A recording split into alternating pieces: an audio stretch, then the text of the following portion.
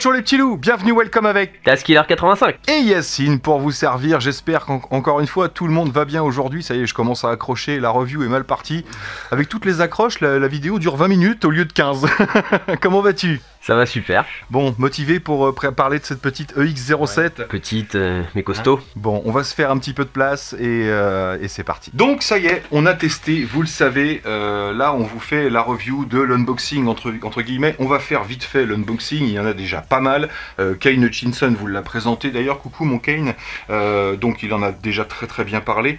On va pas s'attarder là-dessus, on va surtout vous donner, euh, nous, notre ressenti euh, et puis euh, les points positifs, les points négatifs que j'ai pu relever sur cette voiture parce qu'il y en a.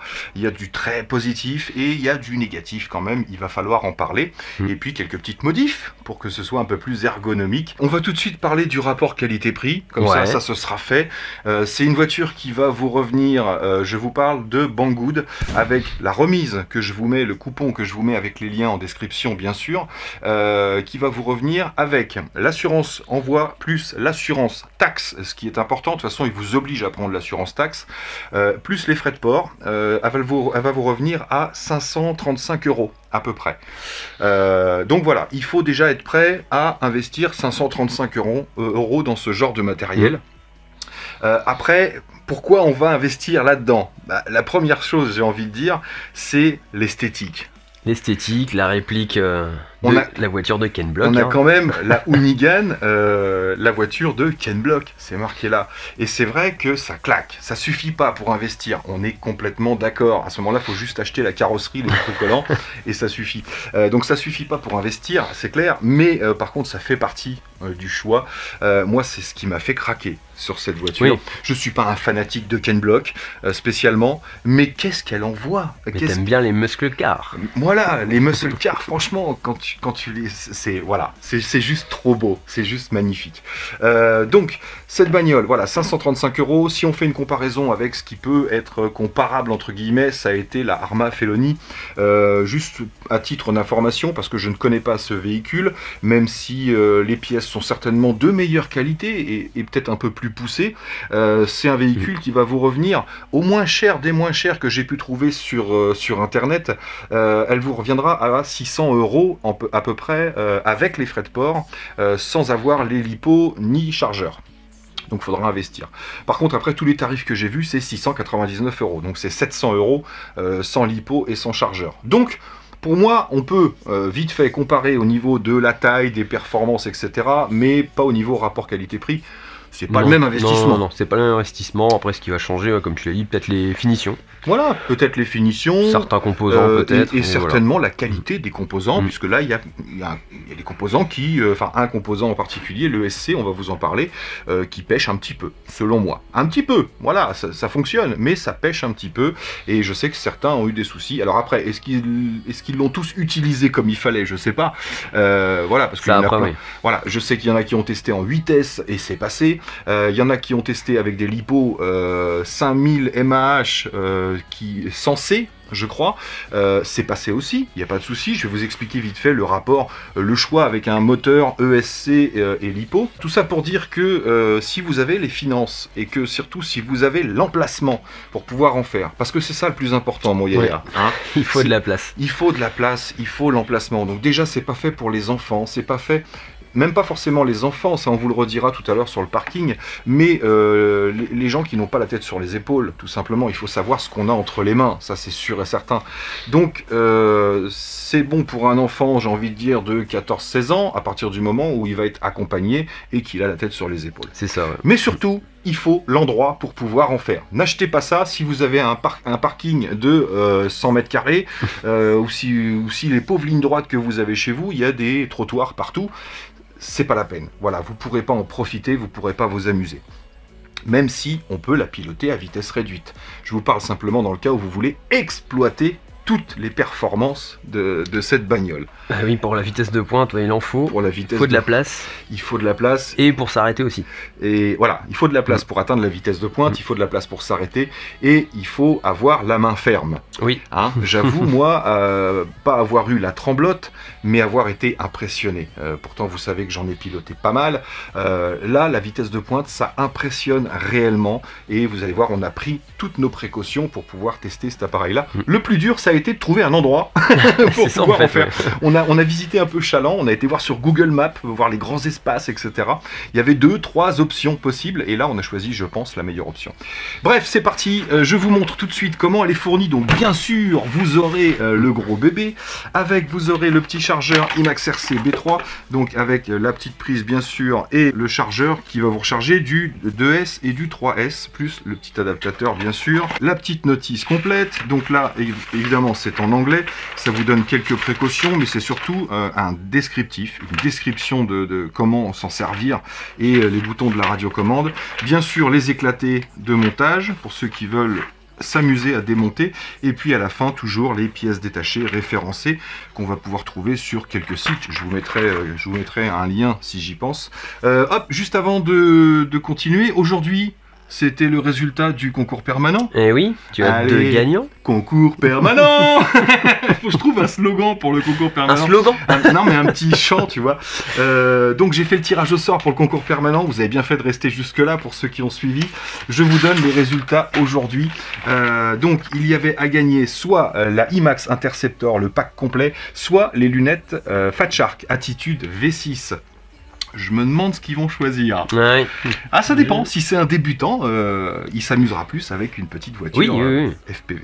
Bref, les deux gagnants aujourd'hui, j'en ai tiré deux au sort, donc bien sûr je vous les afficherai comme d'habitude en même temps euh, dans la vidéo, et vous savez que le premier qui se manifeste dans les commentaires euh, choisira entre l'Interceptor et les Fat Shark Attitude V6, vous connaissez la règle maintenant.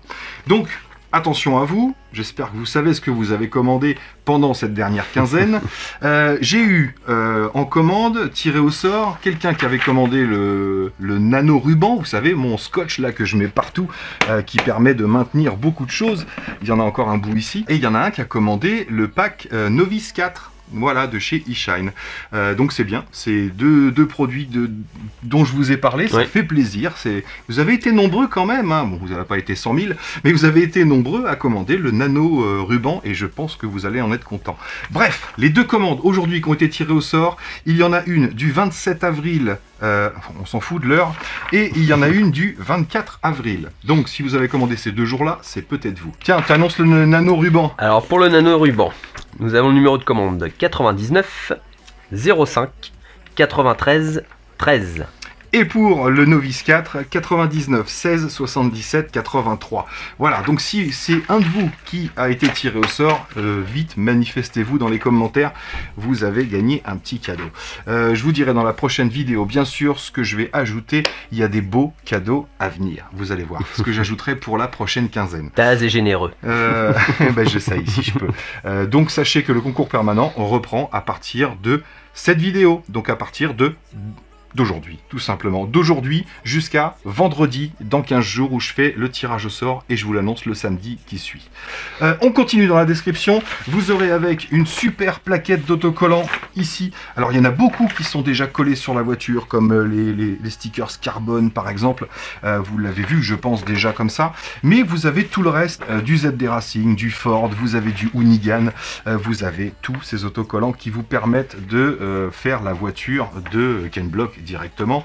Euh, vous avez même des petites options super sympas. Vous avez le petit logo ici qui se fixe avec une vis. Alors vous avez soit ce logo que tout le monde connaît, soit vous avez la même chose, le petit logo ici ZD, tout simplement que vous pouvez mettre sur la calandre. Donc selon vos préférences bien sûr. Hop, on aura également avec des sangles de rechange qui maintiennent les batteries, des Colson, des grands Riesland, une petite notice pour la radiocommande. Encore une fois, la notice, vous en aurez pas besoin une fois que vous aurez vu la vidéo. Euh, la notice sur où c'est qu'il faut coller les autocollants pour que ça ressemble à la voiture de Ken Block. C'est- tout là. Vous avez juste à faire pareil. Une petite pochette de visserie, deux autocollants 3M pour coller le SC. Ça sert à rien puisque vous avez du nano ruban. Et Il me reste encore des stickers. Encore des stickers, Ça, c'est pour mettre sur la casquette. Et des petites pièces comme ça qu'il y a toujours euh, avec les véhicules radiocommandés. On va tout de suite l'ouvrir pour parler de la voiture. C'est ce que vous Ouvre le monstre. c'est ce que vous attendez tous. Donc toujours bien sûr les petits riselants sur les fixations ici pour que ce soit plus simple à attraper. Tu confirmes c'est beaucoup plus simple. C'est beaucoup plus simple. Hop, ce que j'aime bien sur cette voiture aussi, c'est qu'on a deux bandes scratch ici qui viennent fixer la carrosserie. Euh, je sais qu'il y a certaines vidéos, euh, ils ne l'ont pas mis et du coup il y a un mou sur la carrosserie alors que quand vous avez fixé la bande scratch, tout est beaucoup plus rigide. Donc bande scratch à tirer. Ensuite on va soulever hop pour sortir des cliquets et vous aurez la deuxième bande scratch derrière bien sûr. Voilà. On va tout de suite parler de la carrosserie pendant que je l'ai entre les mains. Donc, euh, beaucoup plus épaisse que ce qu'on a l'habitude de voir. Plus épaisse que, euh, par exemple, la 1 huitième, la ZD Racing qu'on a testé et que tu as eu en main. Que j'ai eu en main, ouais. Euh, donc super belle finition, ça c'est clair, et quelques renforts à droite à gauche. Et on a aussi une bonne installation et une bonne finition sur les LED. Euh, vous l'avez vu dans, dans l'intro de la vidéo, j'ai essayé de vous montrer un petit peu, il y a 14 euh, LED différentes, 14 éclairages différents sur les LED. Donc la finition est propre, c'est vraiment bien fixé, que ce soit les avant ou les arrières. Donc moi j'ai pas eu de gros chocs, je sais pas comment ça va résister aux gros chocs, mais euh, en l'occurrence euh, la carrosserie est vraiment costaud. Et voilà l'engin. Get, get, c'est beau hein? C'est beau ou pas? Tiens j'ai perdu un caillou. Euh, tiens je te le laisse, je sais que tu passes Ouais. sur le parking, tu le C'est- remettras c'est- sur le parking tout à C'est l'heure. le caillou de l'île Rock. Oh c'est le. Lille Rock. vous en entendrez. Allez voir, euh, allez voir. Je vous mettrai tiens le lien dans la description. Yacine a fait un petit chase d'une d'une Porsche, Porsche GT3 RS euh, au, karting euh, Mecamax, Mecamax, ouais. c'est ça. Voilà, parce que c'était un ami à vous qui avait cette voiture et, et c'est un ami de Pierre, oui. c'est un ami de Pierre et il voulait quelques Pierre voulait quelques, images. images FPV, ouais, voilà. chasing. Donc Yacine a été chaser une petite Porsche. Je vous mettrai le lien dans la description de la vidéo pour que vous puissiez aller jeter un petit œil sur sa page. Mais vous n'avez pas fini de le voir, je vous le dis. Donc ce petit engin, euh, les dimensions, bah, elles passent en affichage là-haut. On est un peu plus de 70 cm de longueur sur euh, à peu près 35 cm de large, euh, sur une hauteur totale d'à peu près 24 cm avec la carrosserie. Mm. Euh, bon ça on s'en fiche un petit peu. C'est un gros bébé, c'est un gros engin. Voilà, si je le mets devant moi, devant Yacine c'est moins impressionnant, c'est moins gros que moi. Mais déjà rien que devant moi, c'est énorme. Pas moi qui suis énorme, la voiture. Ça suffit. Hein. Donc, belle finition générale. On voit tout de suite les deux grosses barres de renfort ici euh, qui évitent simplement les torsions. Oui, oui, bien sûr. Voilà. Euh, on a des amortisseurs ZD Racing, bien sûr, bain d'huile de très très très bonne qualité. Ça, c'est clair. On, on- on les connaît et on sait que ça fonctionne bien. Niveau rapport qualité-prix, c'est top. Et réglable. Donc ça, pensez-y. Je vous en ai parlé sur la vidéo précédente. Réglez vos amortisseurs ici simplement en vissant ou en dévissant. Donc vous le savez, hein, vous, vous tendez ici le ressort et ensuite vous dévissez ou vous vissez simplement cette partie-là pour durcir ou pas vos amortisseurs. Et euh, ça, c'est vraiment pour l'adapter à votre style de conduite. Voilà, donc testez et, euh, et vous verrez ce qui vous plaît le plus. Donc très bons amortisseurs. Ici, on a des gros supports d'amortisseurs. On a l'impression que c'est en plusieurs parties même, euh, avec, je sais pas si c'est aimanté, j'ai pas mon aimant sous la main, mais, mais vraiment très épais, donc bonne résistance. Sur l'avant, on a encore ce gros bumper ici, donc même si on peut abîmer en- la carrosserie en frappant, c'est vrai que là, on amortit énormément les chocs, Mm. c'est énorme. L'arrière, on s'en fiche, c'est surtout l'avant qui compte. On a des petites ailettes en plastique ici, justement, où vont venir se euh, scratcher. Ça, je vais les virer, les scratchs, parce que quand il fait chaud, ils ont tendance à se décoller. D'accord. Et euh, je pense que je vais mettre du Ton petit ruban. nano ruban. je vais en mettre partout. Quand il y a du vent, si vous voulez pas que votre casquette s'enlève, mettez du nano Nano ruban. Quand il y a du vent, c'est nano ruban. C'est ça. Les supports ici de carrosserie sont plutôt bien étudiés aussi, parce qu'on a justement des plats qui permettent de ne pas abîmer la carrosserie en cas de rapport de force, beaucoup moins l'abîmer, et qui sont réglables. Vous allez pouvoir également régler la hauteur de la carrosserie. Un petit plus euh, plutôt sympa. Tout ce qui est transmission, tout ce qui est biellette, c'est vrai qu'on a quelque chose de bien résistant. Ça n'a pas l'air d'être de, la mauvaise qualité. Euh, tout est en aluminium ici au niveau euh, des, supports de roues. On a également des petites barres anti-roulis, que ce soit sur l'arrière ou sur l'avant. Je ne sais pas si vous le verrez ici. Évidemment, toutes les biellettes vont être réglables pour régler la chasse, etc. Mm. Donc euh, vérifiez votre réglage. Moi j'ai pas eu grand chose à faire. J'ai simplement euh, réglé ici parce que euh, il y a une roue qui partait un petit peu plus sur l'intérieur. Donc ici vous desserrez tout simplement où vous serrez de façon à régler votre train de roue comme il faut. Je vous ai pas parlé de l'empattement. On est à 43, 42 et demi, 43 d'empattement. Donc grosse tenue de route, vous imaginez bien. Et petite question, ça, Alors ça, mon yaya, c'est pour régler la tension ici de la direction. Donc là, on est relié directement au cerveau. Et en fait, tu vas pouvoir euh, serrer ou desserrer ici pour avoir plus ou moins de résistance dans ta direction. Pour assouplir ou, Pour assouplir ou, durcir, rigidifier, ou le- la direction quand tu bouges le volant. Bien sûr, ici, le boîtier avec le récepteur qui est au-dessus du cerveau. Euh, si vous voulez plus de spécifications, bien sûr, vous cliquez sur le lien, vous allez sur la fiche produit et vous avez tous les petits détails qui vous intéressent. Ici, on va essayer de faire court et on va très très vite aller rouler. Euh, je vais vous donner les détails importants. Donc, le SC 150 ampères de euh, chez ZD Racing, celui qui porte un peu à polémique, euh, avec le petit interrupteur ici, et il n'y a pas de bouton pour les paramétrages. Et voilà, pas du tout. Bref, deux batteries 5000 mAh 35C qui sont largement suffisantes pour ce type de montage ESC moteur. Euh, Simplement pour savoir combien elles peuvent développer en ampérage, vous multipliez les 5000 mAh par 35C et vous obtenez 175 ampères, qui sont leur capacité maximale. Euh, c'est pour ça que sur des voitures, il faut pas mettre un ampérage trop faible. Vous pouvez mettre un ampérage plus fort. Euh, si on développait 200 ampères, ce serait pas grave du tout. Je vais vous expliquer pourquoi. Mais ne pas mettre un ampérage trop faible. Par exemple, des batteries, on va dire euh, 2000 mAh euh, qui font 35C, euh, on va développer que 70 ampères au maximum. Ça veut dire que si vous avez un ESC et un moteur qui vous réclament 150 ampères à des batteries qui peuvent fournir que 75, les batteries vont surchauffer, puis vont gonfler, voire même exploser. Voilà. Donc il faudra changer de maison. Donc n'hésitez pas à mettre de l'ampérage euh, pour alimenter ce genre de véhicule. On va en parler tout de suite et après je vous parle de ma petite bidouille. Donc le moteur, lui pareil, vous pouvez voir les spécifications. Le SC on, sait qu'il fait 150, 150 ampères. Euh, le moteur, lui, va avoir tendance à réclamer quelquefois un peu plus. Donc c'est le défaut que je vais attribuer à ce véhicule de chez ZD Racing, c'est que pour moi ils ont mis un, un ESC qui est euh, no name, voilà, il n'y a pas de marque. Euh, il ressemble comme deux gouttes d'eau au Surpass Hobby qu'on peut trouver sur Banggood ou euh, sur plein d'autres sites et, et en Chine sur AliExpress. Euh, on peut le trouver à 35-40 euros, donc c'est pas un ESC très très cher déjà.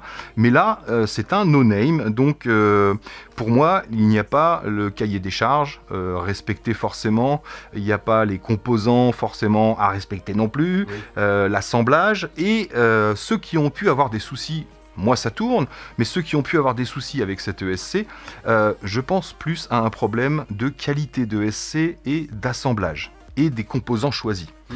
Voilà, euh, parce que 150 ampères sur ce genre de véhicule avec ce moteur, ça suffit. Ça suffit largement. Ça peut même euh, monter en vitesse euh, sans aucun problème. Vous pouvez mettre des batteries euh, 8 8000 mAh 80C. Ça va le supporter quand même puisque le fonctionnement est simple. C'est le moteur qui va réclamer à l'ESC telle puissance. Ensuite, l'ESC va prendre dans les batteries, vous pouvez les appeler des réservoirs tout simplement, va prendre dans ces réservoirs la quantité d'essence ou de puissance qu'il lui faut. Tout simplement. Donc ce n'est pas les lipos qui vont développer 250 ampères, qui vont envoyer 250 ampères à l'ESC, non, et qui risquent de le faire cramer. Pas du tout.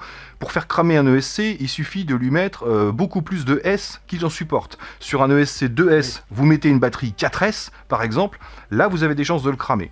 Mais donc, vous l'avez compris, le moteur demande à l'ESC de lui fournir tant de puissance. L'ESC, lui, c'est le calculateur. Il va aller chercher dans les réservoirs, dans les batteries, la puissance qu'il faut, simplement, l'extraire et le distribuer au moteur. Donc, aucun souci pour le choix des batteries, je vous ai juste dit, il faut prendre, euh, il faut pas prendre trop peu puissant. C'est le seul problème que vous pourriez avoir.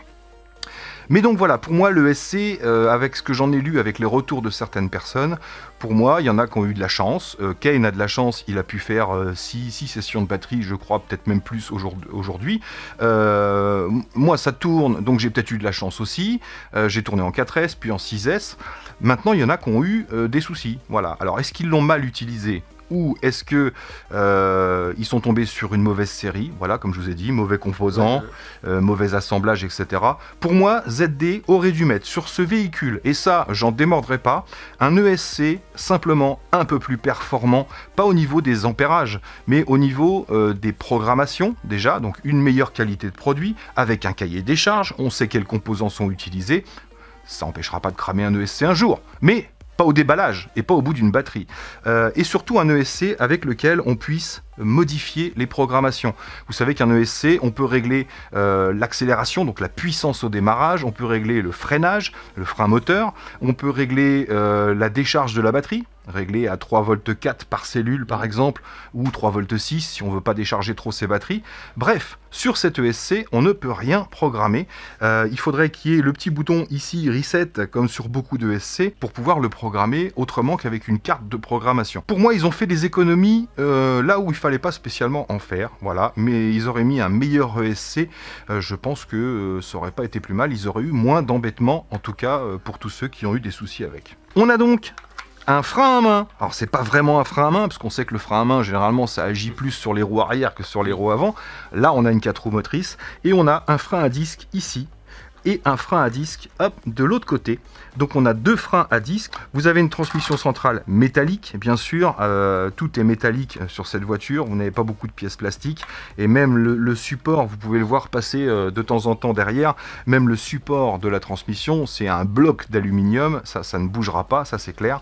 Et le petit cerveau, ici, qui actionne le frein à main directement. Donc c'est hop, ici, qu'on va freiner ou relâcher le frein à main, donc un cerveau supplémentaire.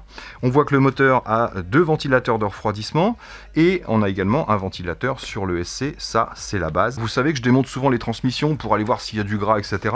Là j'avoue je l'ai pas fait. Je le ferai quand euh, j'aurai un problème de transmission. On ira voir et je vous en parlerai. Je vous parle quand même du frein à main et pour ça je vous montre la radiocommande. Tada La radiocommande ZD Racing, donc elle fonctionne avec 4 piles LR06 bien sûr et euh, c'est une copie, j'ai oublié la marque, je vous le dirai pas, mais c'est une copie d'une très très bonne radio, du moins qui a une très très bonne réception. Euh, ça fonctionne jusqu'à 400-500 mètres sans aucun souci. Accélérateur bien sûr, on a le frein et quand on revient, on a la marche arrière. Vous avez sur le dessus les inversions, que ce soit throttle ou euh, direction. Et vous avez quatre petit potard ici. Vous en avez deux par rapport à la direction, donc l'amplitude euh, de la direction et l'alignement des roues. Et vous en avez deux également pour le throttle, c'est-à-dire la vitesse ici minimum jusqu'à la vitesse maximum. Donc ça, très intelligent pour débuter, commencez pas à fond. Euh, et bien sûr, l'espèce de trim où vous préférez l'avance ou le recul, qui sert pas à grand chose, encore une fois. Le bouton de mise en route ici on-off avec le petit LED sur le dessus. Le petit volant, c'est pas un volant mousse. Et non, pas de confort, là, c'est euh, la compète.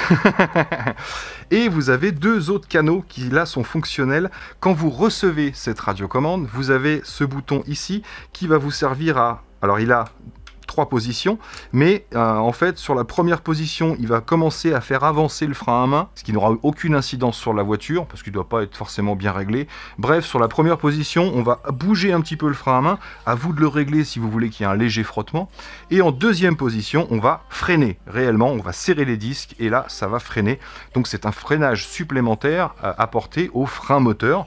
Et c'est vrai qu'on peut en avoir besoin, bien lancé, euh, quand on fait des pointes de vitesse, c'est bien de commencer à décélérer, mettre un peu de frein moteur et pourquoi pas finir au frein à main. Et le bouton du dessous ici, c'est pour changer les LED, tout simplement, de couleur. Normalement, parce que moi je l'ai changé. Je trouve que piloter comme ça, freiner machin, et là le frein à main, c'est super mal placé euh, pour pouvoir l'activer. Et les LED, euh, on n'est pas sans arrêt en train de les changer.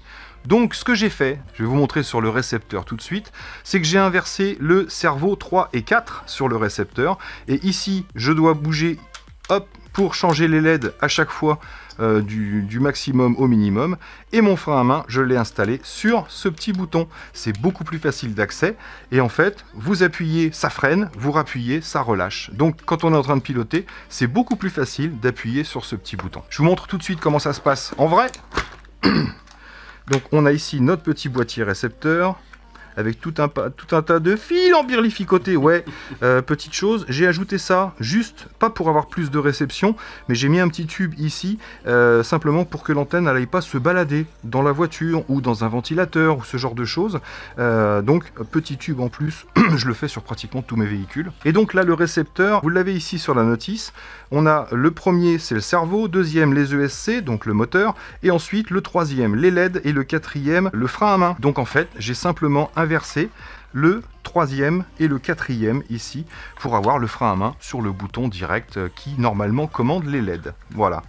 Donc ça, petite astuce qui, euh, qui vous, verrez sera bien utile à ceux qui, vont la piloter. Bien sûr, le SC, j'ai viré le scotch et euh, enfin j'ai viré le double face et j'ai mis mon anneau ruban indispensable. Je vous conseille également parce qu'il y a beaucoup beaucoup de fils ici, c'est qu'une fois, bon là je l'ai ouvert pour vous montrer, mais normalement quand je l'ai fermé, moi je passe un riselant sur le contour ici, on peut passer en dessous et euh, pour assurer la fermeture parce que euh, c'est primordial aussi au niveau sécurité euh, il faut qu'il y ait le moins de choses qui bougent dans cette voiture quand vous pilotez de façon à pas aller que ce soit dans la transmission etc bref moins ça bouge à l'intérieur plus vous serez sécurisé. Je termine avec hop ces deux petits câbles qui permettent simplement, hop, j'ai pas besoin de vous le montrer, vous savez comment ça fonctionne. Ces deux petits câbles ici vont se brancher, alors branchez-les, parce que là aussi ça évite que ça aille se promener. Quand vous mettez votre carrosserie, vous branchez ça à l'arrière et ça à l'avant, facile de respecter la polarité, euh, pour avoir les LED à l'arrière et à l'avant, euh, tout simplement. Mais branchez-les, alors si vous ne les utilisez pas, bah, mettez un petit riselant tout simplement, ou un petit bout de nano-ruban pour coller le truc, mais bref, évitez que ça se balade à l'intérieur de la voiture. Donc on va insister encore une fois, même si je vous le redis dans la vidéo tout à l'heure, euh, n'achetez pas ça n'importe n'importe comment et surtout pour n'importe qui. C'est, on n'est pas dans le domaine du jouet. Voilà, t'as bien résumé. C'est pas le joujou. Voilà, c'est vraiment un truc euh, de malade. Voilà, ça fonctionne Euh, et ça fonctionne plutôt bien et ça pourrait faire peur. Voilà, et surtout ça pourrait faire mal. Je vous parle pas de shooter quelqu'un, euh, un adulte ou un enfant. Vous feriez énormément de dégâts. Euh, voilà. Hum, Après, si vous la cassez contre un trottoir, bah, c'est à vous de savoir si vous avez 500 euros à mettre régulièrement comme ça ou à la réparer sans arrêt. Voilà. Moi, je vais y faire super gaffe. Je fais attention partout où je vais en faire. Euh, ça m'arrive d'en faire sur le parking. Je vous mettrai des petites images. Tiens, j'ai fait un peu de FPV autour de chez moi, par exemple. Euh, donc voilà. Mais dans ces cas-là, je ne prends aucun risque. Je ne pousse pas en vitesse. J'ai pas besoin de réguler la vitesse. J'appuie pas trop fort, tout simplement. Bref, soyez prudents. C'est un joujou génial, même si c'est pas un jouet. Encore une fois, c'est un jouet pour adultes, mais, euh, mais voilà, c'est pas à mettre entre toutes les mains et il faut être extrêmement prudent avec ça. Il faut ouais, la surface euh, bah, plane, Ouais, alors c'est pareil. hein. J'ai vu certaines vidéos, donc bien sûr qu'elle n'est pas faite pour les sauts, mais j'ai vu certaines vidéos où euh, sur la vitesse, sur la ligne droite, il y a euh, soit une plaque d'égout, soit euh, des, des, des, des dénivelés ou même des cailloux. Nous, quand, on, quand on a été l'essayer, demandez à Yacine, Ah bah. allez-y, demandez-lui. On a tout nettoyé. Voilà, on a fait tout le circuit pour voir s'il y avait des cailloux, des choses comme ça. On a retiré ça avant de tester la pointe de vitesse. Et donc voilà, quand j'ai vu certaines vidéos où la personne arrive et puis euh, va prendre un, pas un trottoir, mais une- un dénivelé sur la route et se mettre à décoller, vous imaginez bien que cette voiture est bien maintenue au sol, que ce soit par son aileron. Ah, j'en ai même pas parlé, de l'aileron carbone.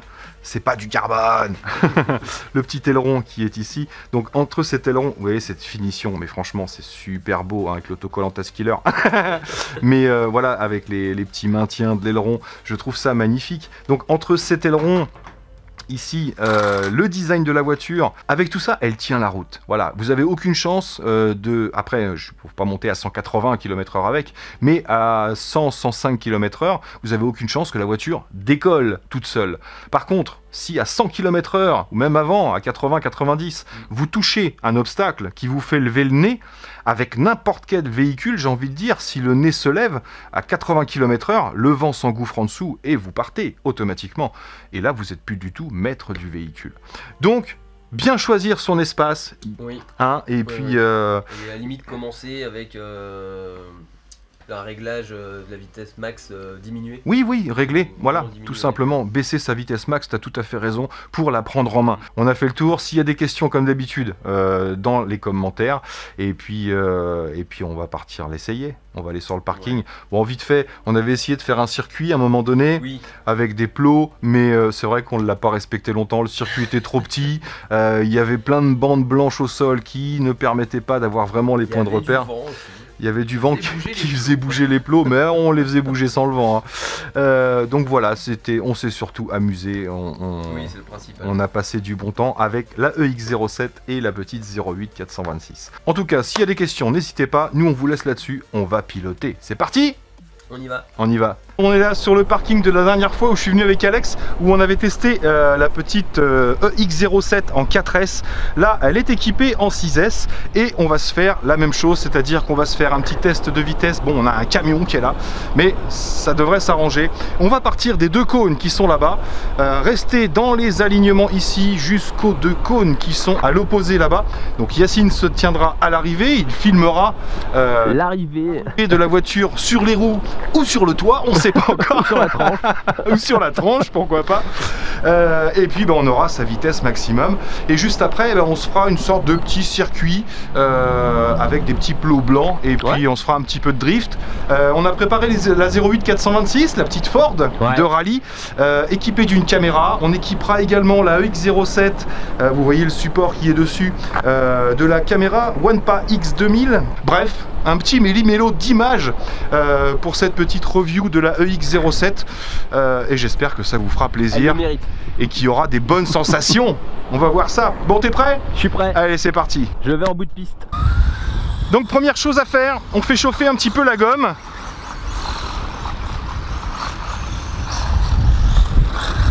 Ensuite, on va régler son alignement. Donc là, je pars légèrement sur la droite. Voilà, c'est important d'avoir un bon alignement. Là, ça a l'air pas trop mal.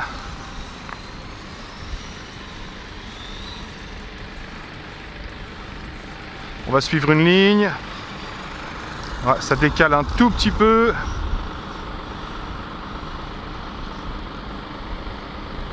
Voilà. Et la dernière chose qu'on va faire, là c'est pas mal. Voilà. La dernière chose qu'on va faire, c'est qu'on va baisser l'amplitude des roues. Ici, l'amplitude des virages. Parce qu'à grande vitesse, il vaut mieux pouvoir rattraper. Alors donc, ici, on est à fond. On va baisser le premier ici. Vous voyez, là, j'ai beaucoup moins d'amplitude. Je baisse encore un peu. Je baisse encore un peu. Voilà, là j'ai beaucoup moins d'amplitude, les virages sont plus larges, je peux peut-être même baisser encore un peu. Ouais, si je baisse au minimum, j'ai plus rien. Il faut que j'ai un tout petit peu d'amplitude. Voilà, regardez, là je suis à fond, le virage est grand. Là, ce sera plus facile de maîtriser. Bon, bah dernière chose qui reste à faire, c'est mettre en route le GPS. Ok, donc c'est parti, on lance le tracking. Let's go Bon bah les amis, accrochez-vous, ça va décoller. Alors on va partir en départ arrêté pour la première. Je suis bien à fond ici sur le throttle. Premier lancer test Ok, C'est bon pour toi? C'est good. Allez, on y va dans 3, 2, 1, go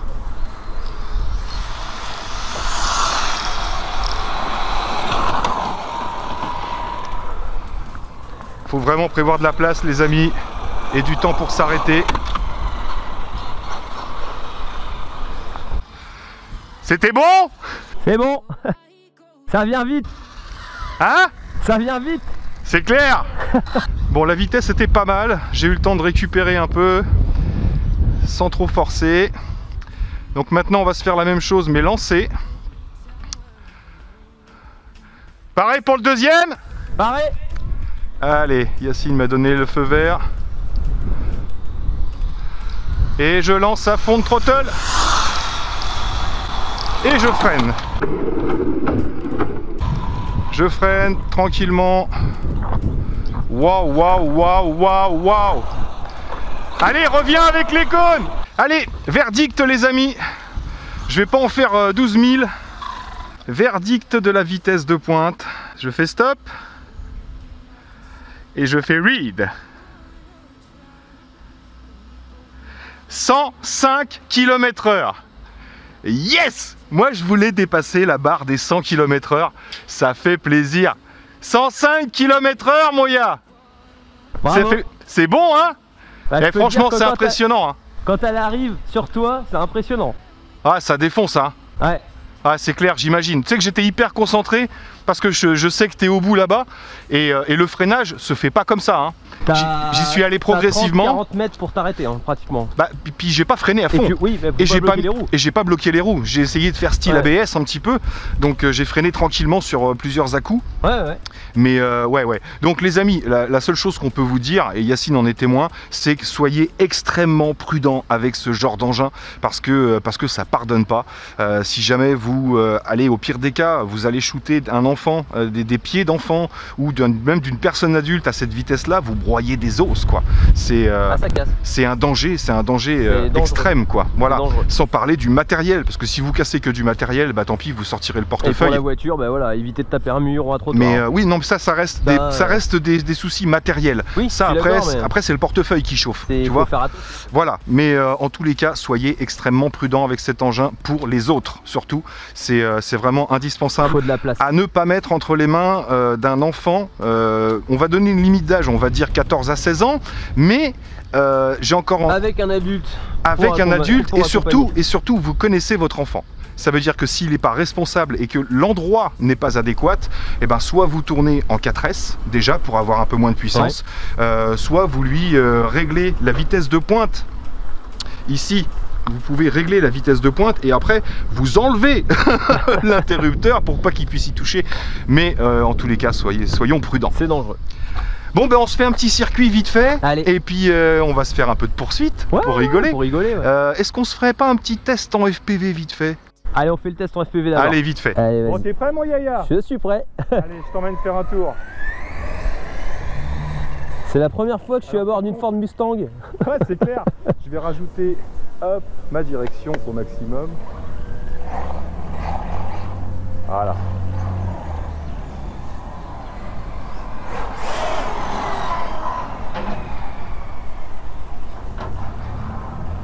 Alors c'est plus dur de maîtriser le drift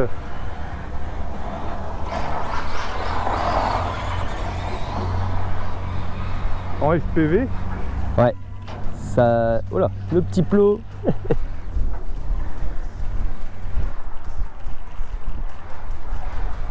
Ah, c'est plus chaud à maîtriser. hein. Ouais. Oh là là, on sent l'accélération, c'est impressionnant. hein.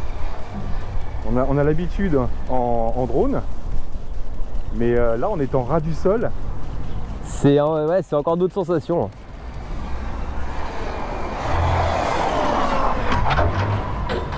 Oh, j'ai touché un truc.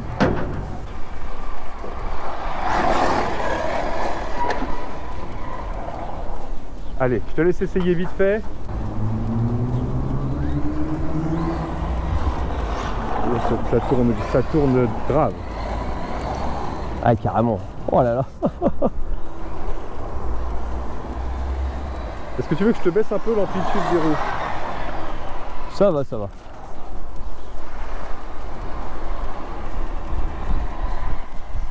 C'est pour que tu vois la C'est sensation. juste euh, On va vite se faire un petit circuit histoire de finir la lipo. carrément. Mais ouais, c'est intéressant.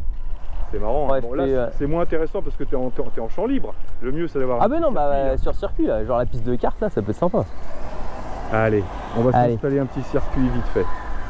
Yeah Petit échauffement.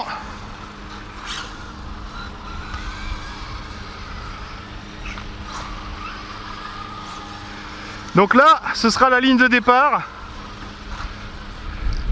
Bon, on n'est pas là pour euh, s'éclater le, le pif non plus, hein. Ouais, j'y vais tranquille. hein. Donc je vous présente notre petit circuit improvisé. On va se faire un petit tour tranquillou pour leur montrer. C'est parti, top départ. Donc là on a une ligne droite. Ici on a un grand virage. Voilà.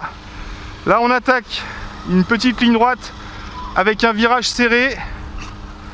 Là, on a un autre virage serré. Petite épingle.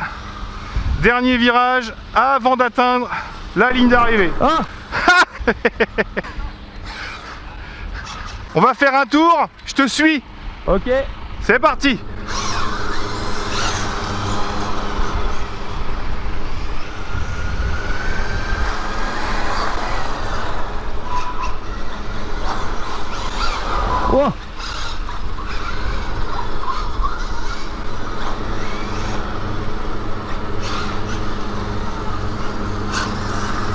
Allez, suis-moi.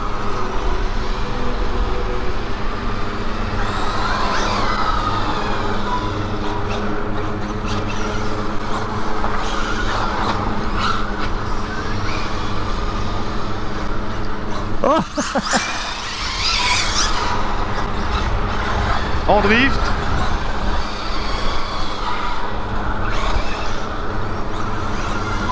Ouais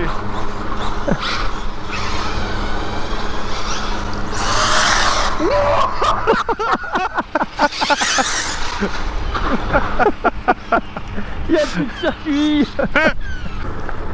elle, est, elle est nerveuse sur le toucher la, la petite là. Ah oui, elle est nerveuse, ouais.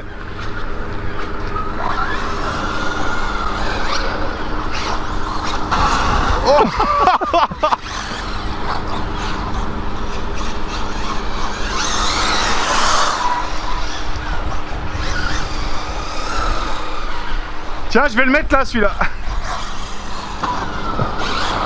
Oh là là Ouais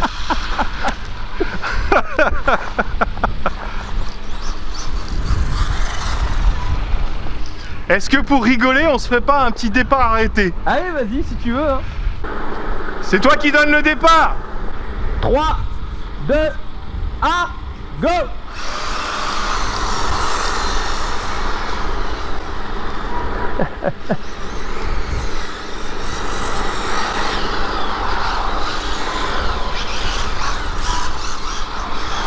Toi sur la longe tu m'as... Oh, oh là là là là Bon, il n'y a plus de circuit, hein.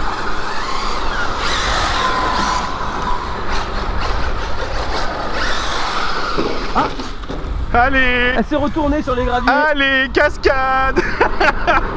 Cascade filmée. La caméra est toujours droite? Non. Non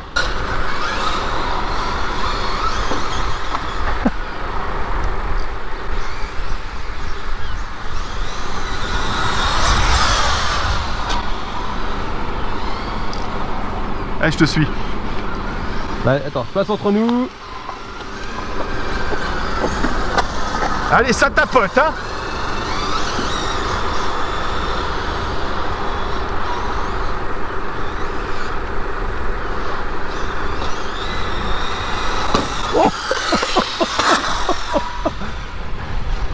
Allez. La touchette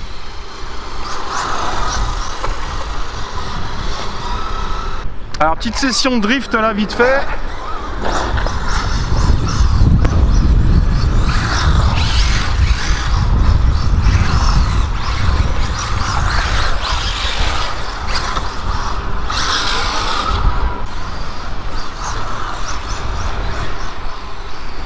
Je maintiens le drift, je maintiens le drift. Oh yes Et je pars. Wouhou T'as raté Allez, léger drift. On agrandit le cercle.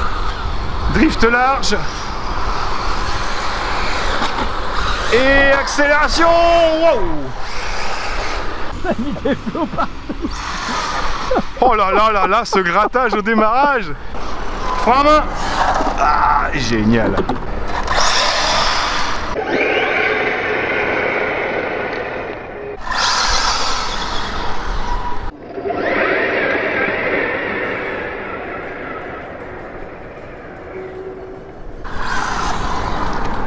Oh, ça y est. Ah, Terminado. ça y est. bon, cette petite session. Mais c'est fun Ouais, c'est fun. C'est- fun, mais faut faire gaffe. Hein. Ouais, faut faire attention, Ouais. on est vite pris dans le jeu, Ouais. on vit- perd vite ses repères. Faut vraiment être dans un endroit ouais, où, on est, où on est cadré. sécurisé.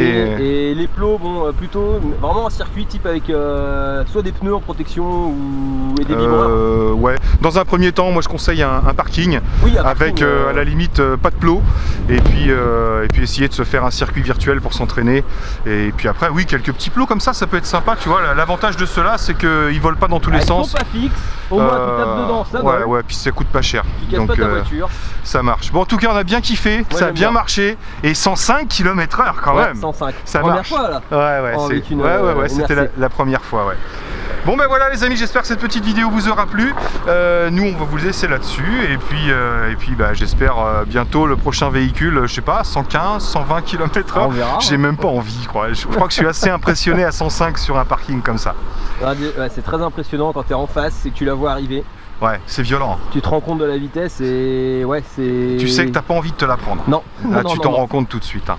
Donc voilà les amis, merci à tous d'avoir suivi, merci encore à vous d'être là. Et puis moi là-dessus, on reste plus qu'à vous dire surtout, portez-vous bien, prenez soin de vous Et des autres. et à très bientôt dans mes vidéos. Ciao, ciao. Ciao ciao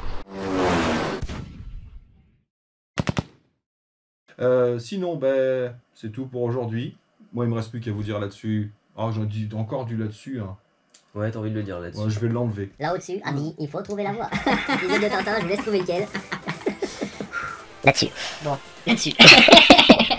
bon, là on a dit tout. Là-dessus Non, ouais, on a oublié. Non, non, non, euh, t'as fait la petite notif là, sur le SC comme quoi, euh, voilà, ça risque plus mieux. Ouais. La radio, l'inversement du frein à main Ouais, pour que ce soit plus euh, accessible. Indispensable. Après, euh, voilà. hein.